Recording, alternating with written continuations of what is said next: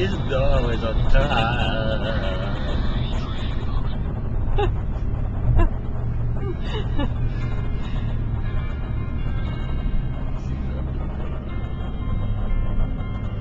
Sleepy boys.